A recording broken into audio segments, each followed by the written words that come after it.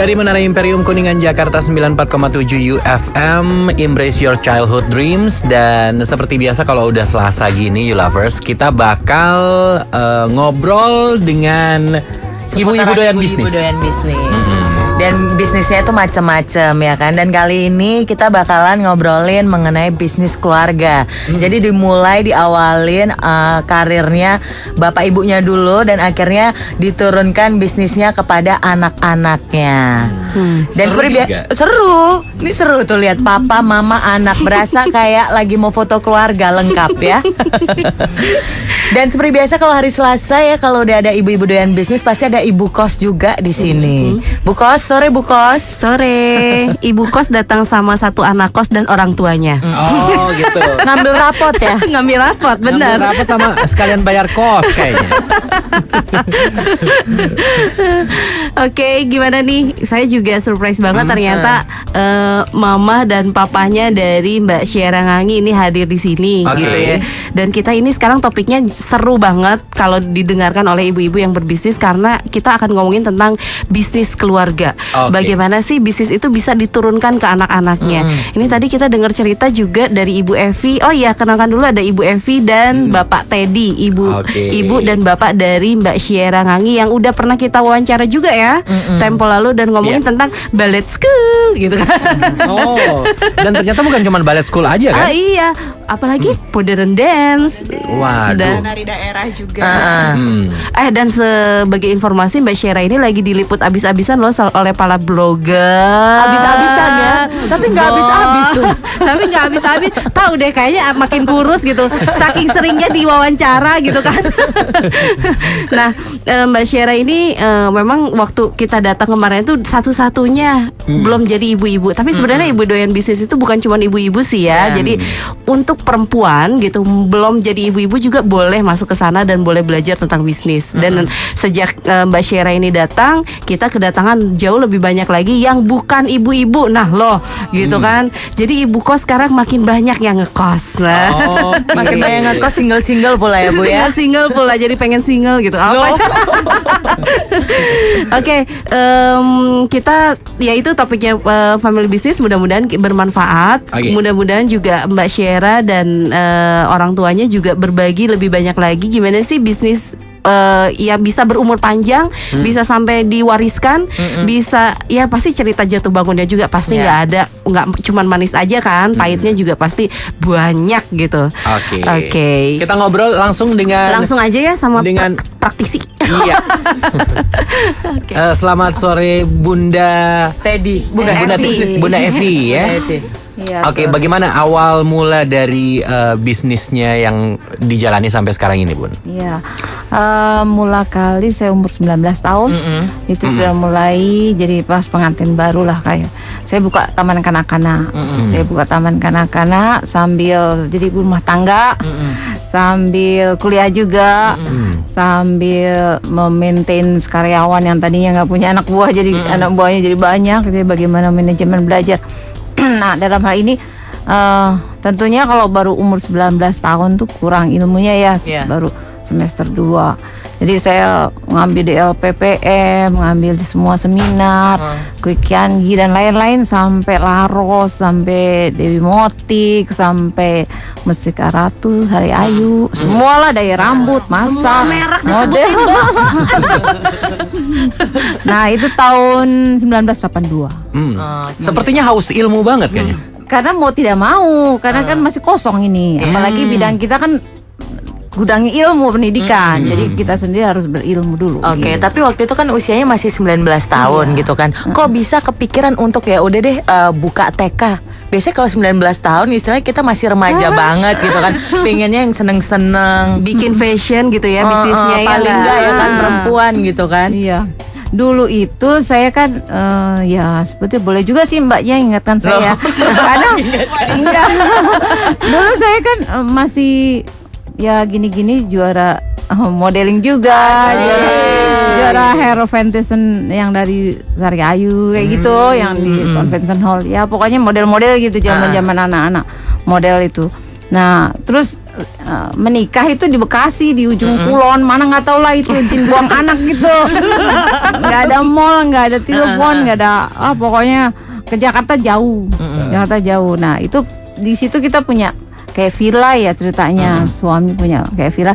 Dipakai buat apa? Nah jadi waktu itu Pak Wali Kota bilang kan kalian kan dari Jakarta ada sesuatu yang bisa bermanfaat untuk Bekasi apa ya?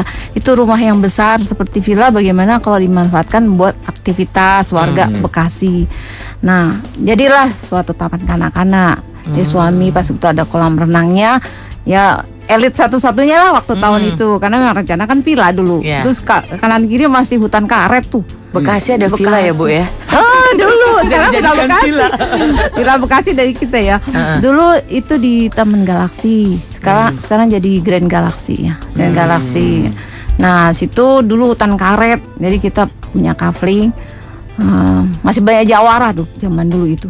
Jadi kita bangun bangun rumah aja semen pasir pada dicuri. Oke sampai akhirnya uh, terwujud Ah. punya TK itu. punya TK eh, suami nge-backup. Memang pertama kali suami yang mengarrange itu tapi belum aktif karena suami kan punya perusahaan di Jakarta. Jadi masih sambilan aja.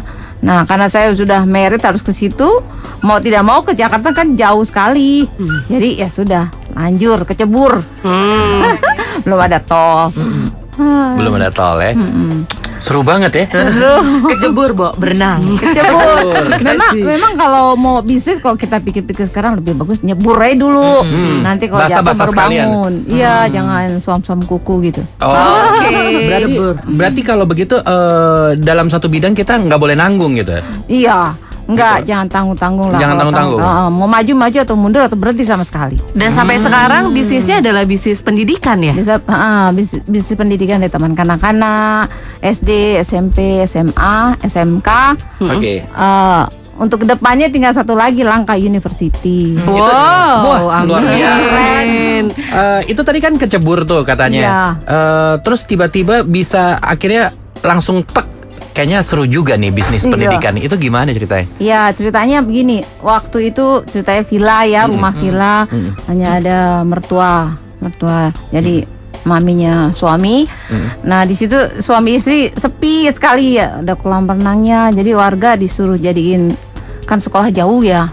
Nah jadiin itu di backup sama Pak Wali Kota juga. Jadi izin-izin gampang lah pokoknya waktu itu banyak yang ngebantu dan wanita dan lain-lain. Nah, Pak Teddy menyediakan sarana prasarana. Mau tidak mau kan sebagai istri harus nge-backup usaha itu. Nah, ceritanya ya saya bilang tadi cebur aja sekalian. Kalau mau diperhatikan sih jauh banget. Dulu kan udah dandannya kayak artis gitu lah, modeling. Kok sekarang harus ngadepin ibu-ibu guru gitu, menor sendiri gitu. mau nggak mau lah. Jadi ya menyesuaikan. Lama-lama hobi hobi ya itulah. Makanya kalau usaha dibarengin dengan hobi pasti sukses. Terus kok bisa berkembang gitu? Iya. Kenapa bisa? Nah, untuk rahasianya ya, kalau setiap usaha tuh jangan profit oriented dulu. Oke. Kalau orang Islam bilang lillahi ta'ala, ya kan? Jadi eh, jalanin aja dulu. Nanti soal rezeki urusan yang Tuhan lah. Akan ngikut ya Ikut. Tapi kalau awal-awal sudah apa Jawanya kemerungsung ya? Kemerungsung tuh apa? Eh, gundah gulana. Berapa untungnya? Berapa untung? Nggak bakal jadi deh. Kalau kayak kasarnya Oh, seperti gitu. itu. Tapi ini mau nanya nih gitu karena kalau ibu-ibu dengan bisnis kan kalau ibu kan basically-nya memang secara eh, materi sudah ada. Jadi ah gue nggak mikirin profit nih, yang penting jalan aja dulu nyebur-nyebur deh gitu. Backup kan banyak tuh dari suami gitu kan. Tapi persoalannya adalah bagaimana Bu kalau misalnya ibu-ibu doyan bisnis ini atau yang pengen berbisnis justru tuh mepet banget modalnya. Nah, apa yang harus dilakukan tuh? Eh, kalau mau boleh dibilang dulu sarana prasarana yang ada tuh cuma rumah itu aja. Jadi uang operasional segala macam itu pakai uang belanjanya kita. Hmm. Eh, saya waktu itu eh, belum nggak kerja ya, maksudnya hanya full kan masih kuliah. Jadi full di pendidikan itu eh, bagi-bagi sama uang belanja, pinter-pinter lah. Nah kreativitas kreativitas, jadi sekolahan itu hanya ha- emang harus banyak kreativitas yang bisa mendatangkan ya ujung-ujungnya ya profit juga, tapi pikiran kita, mindset kita jangan selalu orientasi ke profit min- oriented. Nanti eh, kerja kita tuh jadi males kalau pikirannya ke arah sana dan Tuhan juga nggak berkenan ya. Em, tujuannya untuk mengabdi ke orang dulu. Nah itu. Hmm. Jadi kalau untung kecil semangat, untung besar lebih semangat gitu ya maksudnya Ya. gitu kali ya. Tapi Gak untung pun juga Enggak. semangat gitu. kalau kalau di dunia pendidikan sebetulnya bicara untung itu nomor keberapa? Eh, kebahagiaan, kedamaian itu udah untung sendiri loh. Oke. Makanya boleh dibilang mukaku lebih muda ya. Dari usianya. Nah it- itu kan profitku sendiri dibandingkan teman-teman yang seumur aku kok lebih tua tanpa harus pakai makeup segala macam. Karena hubungannya biintas dengan human being kan, makhluk hidup. Ya. Lagian, lagian kalau kita melihat murid berhasil juga kayaknya priceless Oh, iya. banget kan. Satu kebanggaan. Oke, nanti kita lanjut lagi ya. UFM 94,7